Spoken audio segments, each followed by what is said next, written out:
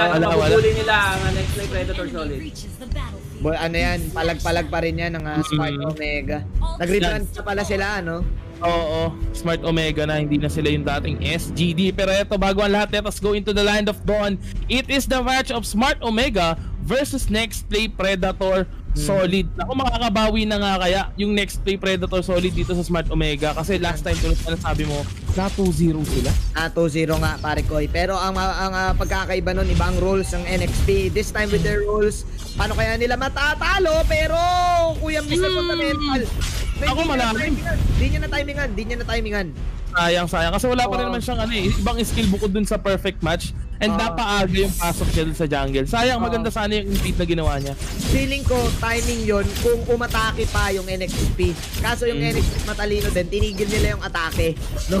So nagkaroon ng taikuhan yung dalawang teams na yon. Pero again, y- again, ah parehas sila ng ginawa dito, ah Kuya Baymax, securing yung mga kanilang ah, kanilang mga objectives and kuha lang ng wave clear. Na kay Mr. Fundamental Mhm. clear yun.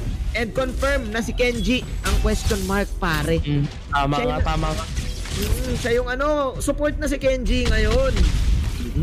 Nako, pero eto, mukhang another team fight is going to happen dito sa may bandang medyo. Ang ganda ng Haggis. Pasok ang ganda sa may back para Chester. Still the go. The basic attack. Naiwan nga lang siya dito. Mag-isa, the slow and the crits coming from Yisun Shin. Taking out that first blood. Kaya man Jin, masakit yung Yisun Shin ha. Sakit, masakit talaga lalo na yung first skill. Yung first skill talaga yung nagpapasakit eh, yung instant lapit and the instant uh, melee form na may onting may onting mini, may, may mini purify eh. Kumbaga eh, parang tatagos ka kasi sa kalaban mo ng oni, ng, ng, ng bahagya eh. So medyo assassin type yung yung datingan mo lalo na kapag na-trap ka. And yun nga, kagaya ng sinabi mo, yung crit ni ng uh, ng Yishon Shin sabay nung proc nung solo blaba ay ah, makati-kati para sa smart Omega dito. This is interesting pare no Mhm. kasi naka killing spree din si paring Haji no. Oh, So, kasi I think ano, they want ano Yisun Shin na to be online until the late game kasi alam naman natin napakalaking tulong ng killing spree once na maka-assist ka or maka-takedown additional HP meaning hindi mo kailangan kaagad umuwi during team fights. Oo, basta patay, basta gera lang ng gera no. Speaking of gera dito, Heat doing a great job. Oy. in, uh, si Heat yung ang ano eh. Target? Oo, target. Pero ang ano yung ang ginagawa niya dito, yung spot out niya lang. Unfortunately, namatay siya. Pero, again, na-spotan niya nasan yung mga kalaban. Negating next play Predator from going to the top lane. Kasi dapat Mm. pag sa top lane yung next play dyan eh, pwede kasi nilang abusuin tong fire sa top eh. Kaso nakita ka agad ni Hit, si Hit yung naging target. So mission done for Hit. Siya nagiging scout. Oo, siya nagiging scout eh. And mind you, may libreng... Oh! My glove! Grabe, sniper ang datingan ng ano ni paring Toshi dito pero Chester namataan daw disengage gaming from smart. Oh my God, grabe naman yung sniping ano na yun. Gamitin nito easy, grabe. vintage marksman ah, persona ni Toshino yung sumanib sa kanya doon, Baymax. Sabi niya, nung marksman din ako, basic lang yung mga target-target na. Ayan.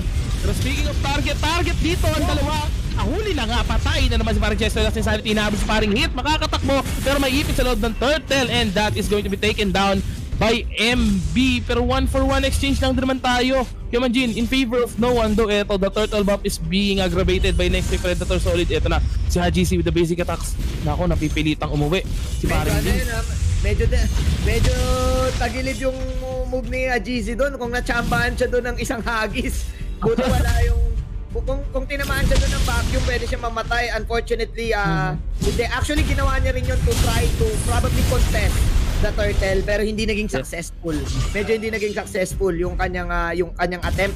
To the point Yes. na nakuha pa rin ng next play predator yung gusto nilang makuha which is yung turtle nga. Ngayon, convert sila sa top lane. Okay, speaking of top lane, hinagis papunta sa taas yung ating Popanin Krupa. Kenji has been taken down. Chester, hinahabol ni Haji Z. Look at those crits na buhay! Pero Flicker out. Flicker in actually tapos RKO onto the turret na huli yung ating Louie Z with the double kill. Look at the basic attacks talagang pumapalag against the Ling. H2O will be forced to back away against Z. Hindi niya in-expect na ganun kasakit ang crits ng isang hips and chin. And nice, nice flicker normal para kay, ah, kay Kuya GZ. But the problem is na shutdown siya dito. Kailangan ng bawi ngayon ni Toshino. Is this a kill? There you go. Yun yung maganda sa Parsa eh, kasi tuma pwedeng tumagos yung ulti mo dun sa wall. Sa wall, yes. Kaya kahit naka, naka-wall yung, yung Ling, pwede tamaan. diba? Ano nga, sintado pa, yun pa yung problema. Pero Chester right now might fall down. Ultimate has been activated, trying to run away. Pero the slow coming from Popol is there. Ang lagkit din ng traps ng isang Popol ko pa talaga. Oh, hindi sila makalapit. Ang ganda ng ginagawa ni Toshino dito to uh, counter go Next Play Predator. Yung plan ng Next Play Predator solid sana to control that lane eh. Pero gusto na sana nila mag-back kanina. Y- Hindi Hmm. sila nag-overstay eh. Alam nila na kailangan na mag-back. Pero yung range ni Toshino yung naging problem. Kumabot sa dalawa, nakapatay ng isa, nabigay pa ulit sa Smart Omega yung lead na gusto nila. Yes. Speaking of lead, tignan nga natin kung gaano na nga ba kalaki ang kalamangan ng item ng isang Yesun Shin against the Ling. Pero makikita naman natin, tumas lamang pa rin ng ah, gold yung Ling natin compared dun sa ating uh, Yesun Shin na pareho lang naka-Raptors Machete pero mukhang maunang mabuo ang endless battle against the BOD.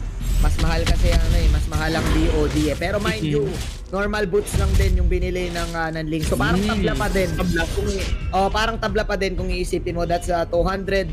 Meanwhile, look at the rotations. Iba talaga high caliber, men. Tingnan mo, naka- naka-ready ka agad sa, sa, sa turtle yung pwestuhan ng Smart Omega. Ayaw na nilang ibigay yung Oo. pangalawang turtle buff sa NXP pero Chester has been teleported onto that single bush. Oh, yun lang. Namataan sila dito ni Hajizi. Speaking of GZ, sila yung ginamitan ng ultimate Chester na ipit sa loob. Ganda ng hagis dito para last insanity sa patay damage ay bibitaw. Hindi naramdaman nung hit natin. Pero further airstrike securing another kill for Hajizi. Bawas na ng isa ang next play Predator Solid. Ang ganda talaga ng tulong ng Mountain Shocker. Uh, you, it will Mhm. give your, your team the vision uh, to position yourselves sa next team fight na magaganap. I think next play Predator, uh, one one strength ng next play Predator dito, Baymax, is sila yung type ng team na hindi nagpapakita sa mata. Classic MOBA, yung gano'n. Oo. Tsaka lang sila magpapakita kapag, kapag alam mo yun, pag kailangan na talaga. Especially Yawi, especially uh, uh, Chester, si? MB. Master sila niyan eh. Master sila niyan. Pero ang problema nila, may traps. May tapos may mountain shocker. So, Mm. hin- hindi sila makakuha, hindi sila makagawa ng play. This is smart. Uh, smart ML coming in from Smart Omega. No pun Oo. intended. Oo.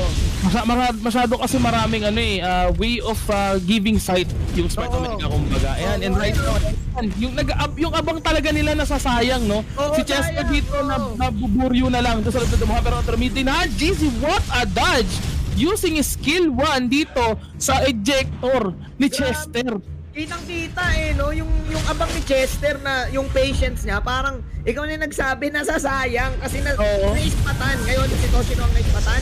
Okay, so Mhm. bakit na, nakaispat? Oh, ang ganda ng RKO dito pero Ace o mapipilitan magbaba vacuum is there. Pero Yawi has been taken down by Kenji. Renegade with the follow up the damage is there. Hinahabol ang gadloob ng Torre. Dito si Kenji patay. Sa kamay ni H2O si Hit mahabol pero I think may isa pang team fight sa may bandang gilid. The basic attack is not enough to take down Renegade instead. Renegade having that double kill.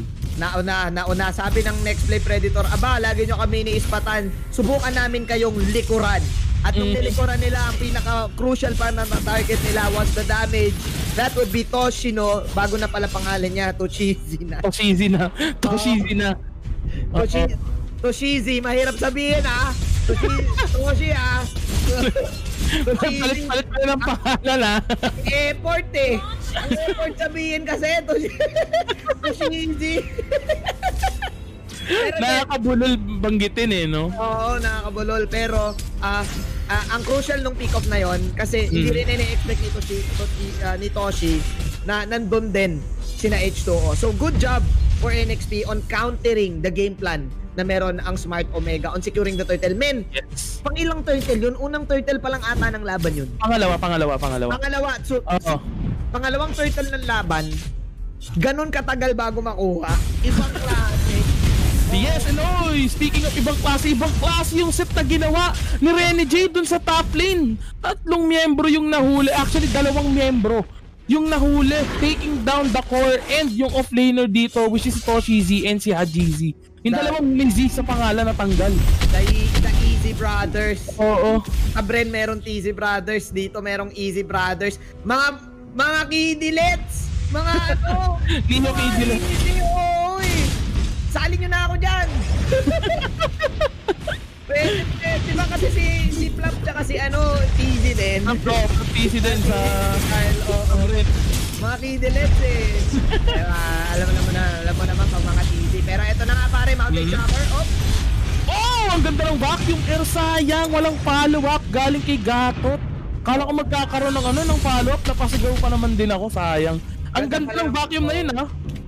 Combo pala yun sa apat, no? Kapag natont nung gatot kacha. Gatont kacha. Gatot, yun. Oo, gatont kacha. Eto na, ah, Yes, Chester. talaga ba? Oh, no. Oh no! Ay, nakatakas! Actually, that was a very good escape pero tuloy ang bakbakan natin dito. Here comes MB with the last insanity. Tapos yung follow-up ng gatot natin na huli. Pati yung Tamos and that is going to be a three-man takedown coming from next day Predator Solid. 10-14 tayo. Guys, Unfortunately, unfortunately, walang mountain chopper para malaman Wala. natin si Chester. Pero si Hajizi, nagkakaroon na siya ng spider sense nun eh. 'Di ba? Pinoproc Bumaba. niya na yung si pinoproc niya na yung second skill niya. sa tingin ko dun sa kabilang bush, doon niya gusto makita. Hindi niya in-expect na nandoon si Sa tabi Chester niya. na mas malapit sa kanya. And ganoon ka-confident si Chester kung kumuha ng mga ganong positioning. Risky. Again, NXT, known sila sa mga risky plays eh. And sobrang risky na ginawa ni Chester noon. So, uh, bin na tama yung hula ni Hajizi, pwedeng siya pa yung napitas. Pero Mhm. again, eh, hindi hindi tama yung hula. Hindi tama eh. No, Smart Omega pa yung nadali. Men, ang tindi ng laban. Grabe! Eh, oo. Actually, ano lang eh, ang naging problema, ang nagiging problema lang ngayon ng Smart Omega is yung ah, kanilang si Mr. Fundamental Hit. Hindi Oo. ko pa siya masyado nakikita na nagfe-face check. No? Nahihira- Ang face check madalas sa kanya sila si Hajizi mismo eh. Tsaka Hajizi, oo. Kenji. Oo. Pa- parang ang hirap din mag-face check kasi may gutot kache eh. Mhm. At saka may ano eh, feeling ko ah, feeling ko ah, yung yung yung Luigi. Mahirap mag-face check eh pag may pag may ano ay hindi pala Luigi, may. Joehead, May oo. Joehead eh, oo. Pero mas mahirap naman kasi siguro kayo Manjin, syempre na yung magpe-face check pa is yung core nyo. Mas Ay, mabigat, diba? Mas mabigat at least pag tank mas mas okay no, mas okay lang mawala. Tama, tama, tama. Tingnan natin. Hopefully makagawa sila ng magandang Fatalings dito pero Mhm, sabi ng Please. sabi ng NXT ayaw na nila eh. Ah, ayaw. eh. Oo, eto na. Here comes the Gatot. Uy, walang tinmaan si parang Rene J pero the turret is being targeted by the NXP. Sunog lang ang ginagawa ng ating X-Borg. Rene J almost out of HP. Walang engagement na ginagawa yung Smart Omega. Talagang power defending lang para sa place nila. Mahirapan sila kasi isa lang. And yung isa na yon that is the Fatal Links. That is Mhm. Mr. Fundamental. Popping the Atlas uh, perfect match. Meanwhile, Chester nasa baba! Ay, ang ganda ng RKO sa dalawa dito pero follow-up damage bitin pa rin. Wala pa rin nabibitawan. Kurt Easy, medyo na late lang dito pero disengage ang NXP Solid after taking down the second gate ng base dito ng Smart Omega. Kakasabi lang natin, kakabanggit at narinig ata tayo ni Mr. Fundamental. Pero yun nga, bitin na yung damage sila. Actually, tama ka, mas bitin yung follow-up. May damage sila ngayon. Pero I think yun yung pinaka-perfect na Fatalings na pwede mong gawin. Kasi kung hindi, mas lalo kayong Lalo. pwedeng mabasagan. Oo, sa top lane. So tamang pigil lang ang ah, Smart Omega pero next uh, next play Predator solid still on the go. Hindi pa rin sila tumitigil no sa pag ano, sa pagtago. Ayun no. Oo, si Chester. Actually, nakabang sila Chester dyan kanina sa may ano, orange buff. Nagkataon lang na nakatakas pa yung ating uh, si Hajizi with the YSS or Yison Shin. And Oo. right now, ayan, item check uli natin. Grabe. Item nung link natin almost hitting that final uh, Sea Halberd. No, compare mo doon sa pa-endless battle pa lang na Yison Shin. Yison Shin. Oo, Yes. tapos dagdag mo pa yung Luoy eh. Meron ng Holy Crystal, tapos yung Farsa, just having the ano pa lang, Lightning Truncheon, tapos Clock of Destiny. Mabigat Mas- yung da- mas mabigat yung damage ng uh. Mas mabigat yung damage ni ah, ni paring Louie. Actually, pwede natin tignan yung stats eh para mas madali. Pero tignan natin. Oy, may na ata. Oy! Nakakuha sa paring Chester pero follow-up galing kay Rene J. Medyo nahuli lang H2O. Ramdam na yung damage na binibigay ni Toshizi. Disengage ngayon dito ang NXP. Naku, napitasan sila ng isang ano, ah, pang pick off sana nila. Crucial yun ha, pero crucial din ata na mahuli si Hit. Ang bilis nung pasok ni Bilis. H2O. Ang bilis. Nakita mo yung follow-up na yun? Saglit lang.